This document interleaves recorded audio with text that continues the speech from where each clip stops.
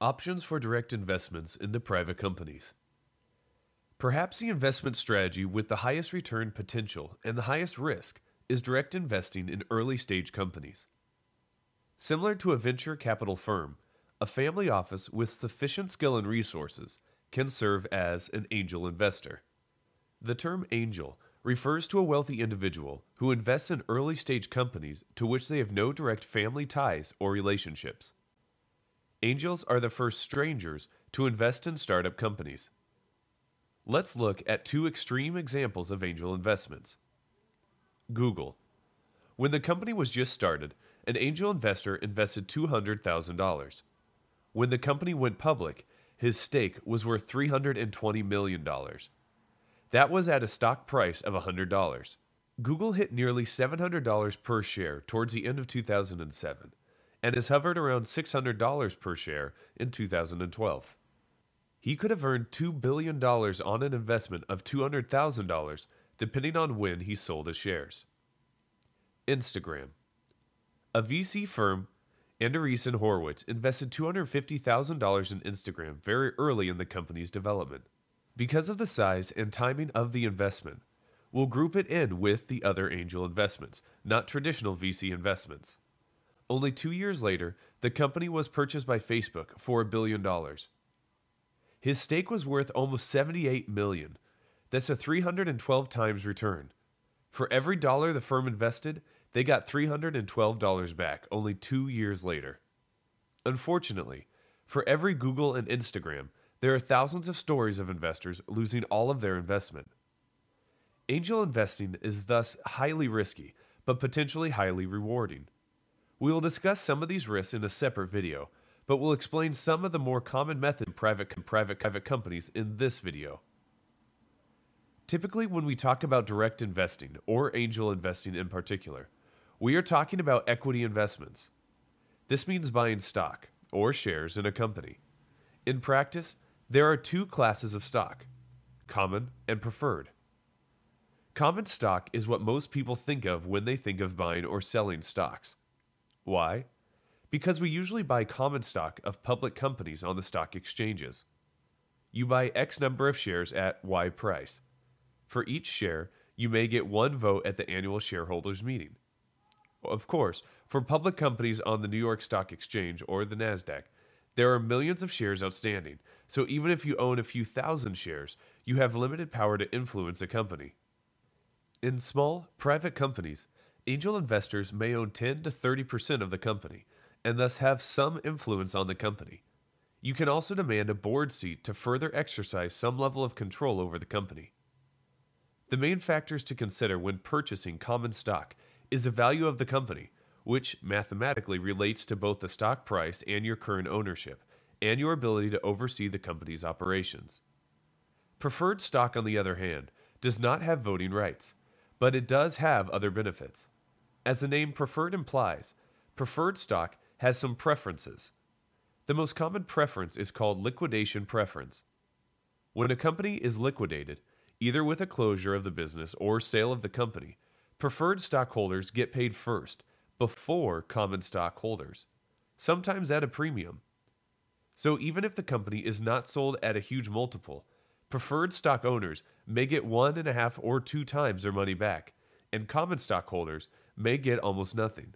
Another preference often used is any variety of anti dilution protection that helps early investors maintain their relative stake in the company over subsequent financing rounds. With preferred stock, you can negotiate both the initial price and the preferences.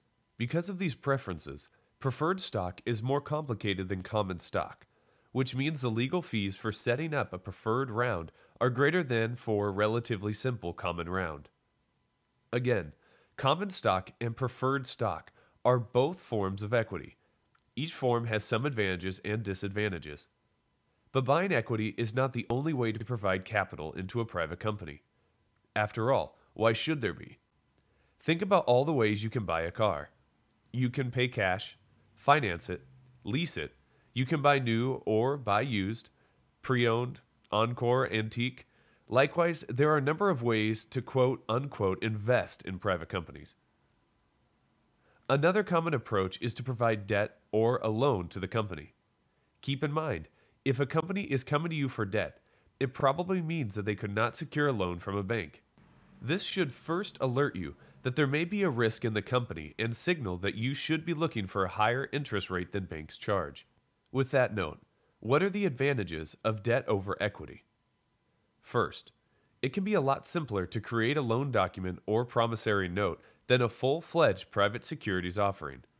In this case, simpler directly equates to cheaper when legal fees are considered. Even ignoring cost, owning equity can be an all or nothing opportunity. If the company fails, shareholders can be left with nothing. On the other hand, with the payment of interest payments associated with debt, you will at least get some of your investment back, even if the company later defaults or crumbles entirely. If you also receive your principal back at some point, you are guaranteed a return on the investment. That return equals the interest payment.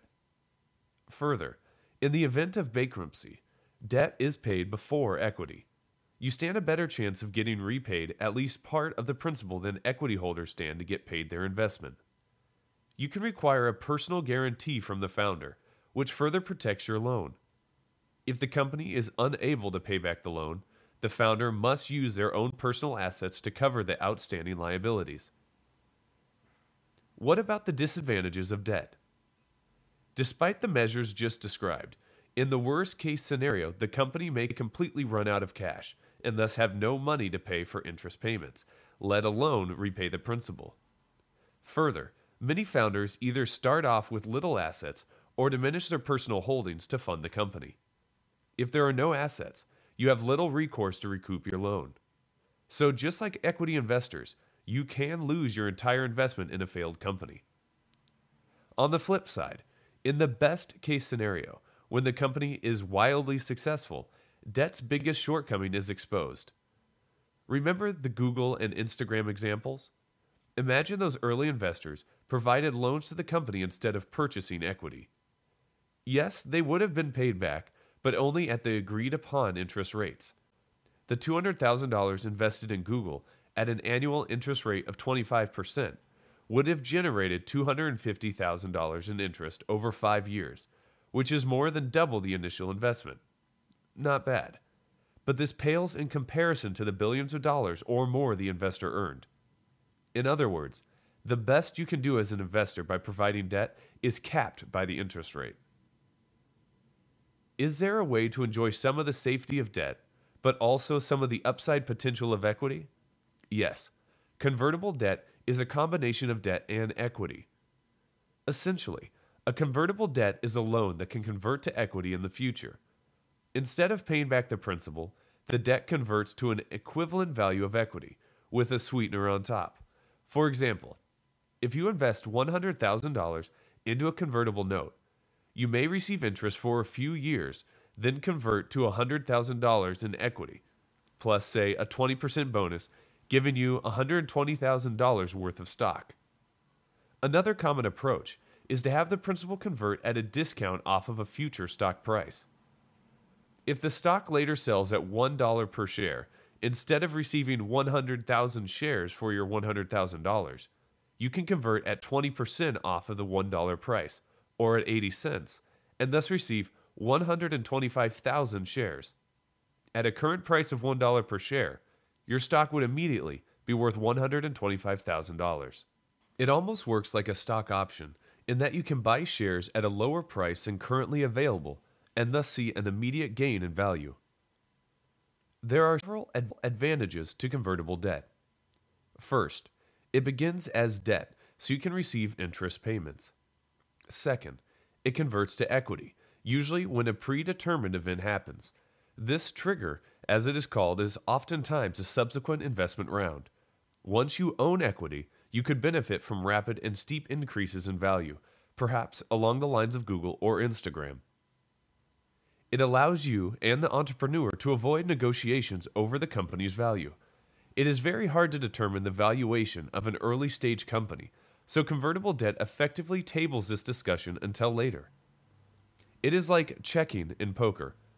If you don't know what to bet, wait and see what everyone says before you put a value on your hand. For less sophisticated investors, punting the negotiations to later investors, who presumably are more experienced and knowledgeable, the convertible notes can save you from being crammed down. What does that mean? Let's say you are very excited about an entrepreneur and his company. So is he naturally. He convinces you this is going to be the next big thing, so the company is worth $5 million now. You have little reason to object, and so you make the deal. However, a year or two later, the company needs to raise a few million more, and the entrepreneur meets with seasoned venture capital firms. The problem is, they all agree the company is worth only 2 million. That's after you invested thinking it was worth $5 million two years ago. If the company needs the capital and has to accept terms at a $2 million valuation, you would lose 60% of your investment. Your investment is now crammed down from 5 million to 2 million. So, using a convertible note prevents this and still gives you a fixed bump in value, regardless of the value subsequent investors place in the company. During the volatile years last decade, convertible notes became more popular. However, they are not without issues. You should consider a few disadvantages of convertible debt. The biggest disadvantage of convertible debt is that it still potentially limits your reward for taking higher risk. Pure debt caps your return at the interest rate, but convertible debt also has a built in limit. Consider this if you make a $100,000 equity investment in an early stage company valued at $1 million, and that company makes great strides over the following 12 months, it may then be valued at $2 million. If you had equity, your share would have doubled in value. You would now have $200,000, at least on paper. However, if you had a convertible note, as described earlier, your share would only be worth $120,000 or $125,000. Choosing a convertible note instead of a straight equity investment cost you $75,000 to $80,000. Another disadvantage is it really just shifts the focus of negotiations off the share price onto the interest rate and discount rate. So, you still have to do the analysis and discussions about future value of your investment. Thirdly, as a debtor, you may not have the voting rights or the board seat available to equity investors, although you can negotiate for these. There are a number of variations of equity investments and debt instruments, including common stock or preferred stock equity investments, debt, or convertible debt. There are also a wide variety of terms you can negotiate for each to maximize your return or to minimize your risk. Ultimately, the optimal approach you take depends on your client's goals, their overall portfolio, and the specific opportunity with the company.